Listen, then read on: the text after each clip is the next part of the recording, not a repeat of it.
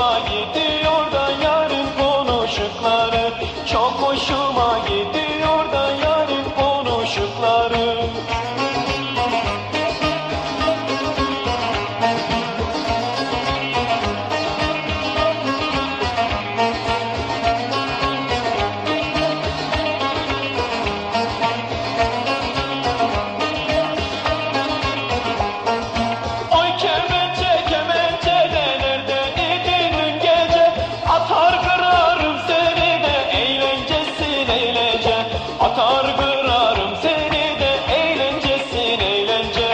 targın